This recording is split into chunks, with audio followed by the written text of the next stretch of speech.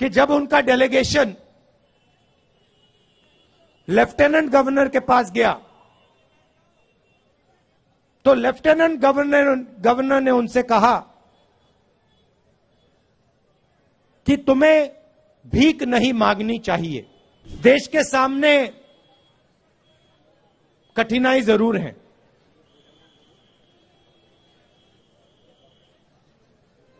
लोकतंत्र पे आक्रमण हो रहा है।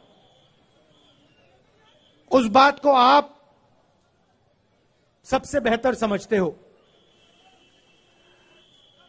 यात्रा से पहले हमने पार्लियामेंट में मुद्दे उठाने की कोशिश की। लोकसभा में, राज्यसभा में हमने भाषण देने की कोशिश की। नोटबंदी पे, गलत जीएसटी पे किसान बिल पे जो चाइना हिंदुस्तान की ज़मीन ले गया है 2000 स्क्वायर किलोमीटर ले गया है उस पे। मगर हमें लोकसभा में बोलना नहीं दिया। जैसे ही हम बोलने की कोशिश करते थे, माइक ऑफ़ कर दिया जाता था। मैंने भाषण के शुरुआत में आप सबसे कहा, प्रेस के हमारे जो मित्र हैं, उनका यहाँ मैंने स्वागत किया। मगर इनका भी काम लोकतंत्र की रक्षा करने का होता है।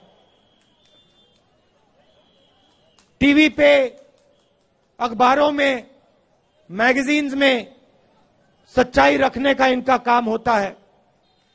पिछले प्रेस कॉन्फ्रेंस में मैंने इनसे सवाल पूछा, प्रेस वालों से सवाल पूछा। आमतौर से ये पूछते हैं, मैंने पूछा, भैया, एक बात बताओ।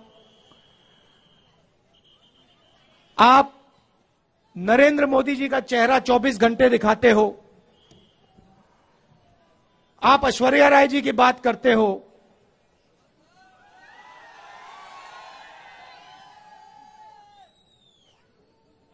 अक्षय कुमार की बात रखते हो।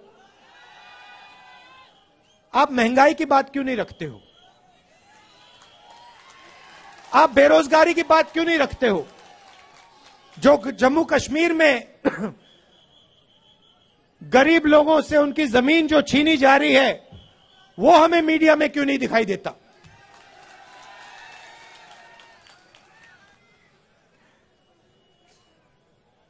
जो कश्मीरी पंडितों के साथ यहाँ सरकार अन्याय कर रही है, कर रही है, आज सुबह मेरे साथ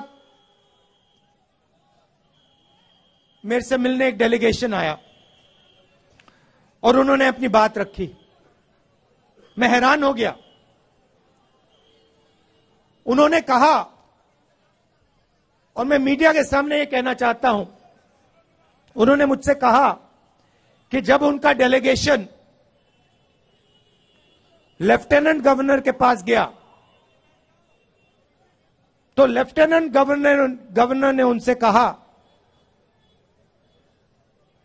कि तुम्हें भीख नहीं मांगनी चाहिए।